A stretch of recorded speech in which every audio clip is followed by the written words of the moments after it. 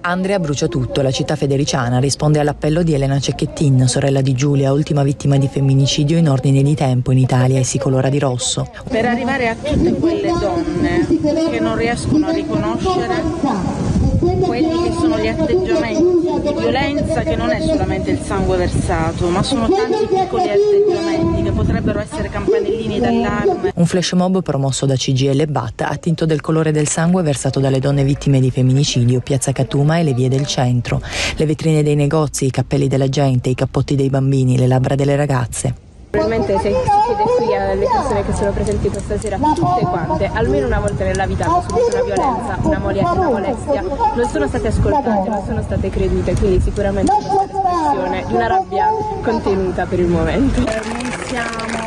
Eh, potenza da me, però sì c'è, c'è paura alle donne, soprattutto per questi episodi che sono parecchio frequenti. Una questione che dovrebbe essere affrontata da Burbattè, giorno dopo giorno, e cercare di, di, dare questa educazione eh, che secondo me è civica prima di tutto. Cioè. A fare rumore ci hanno pensato i Momo Murga per un flash mob nel flash mob che fosse più sonoro delle promesse sino oggi disincantate vogliamo chiedere scusa perché siamo nati in un momento storico in cui il patriarcato è ai massimi livelli. Il carico della famiglia non è delle donne, è della famiglia.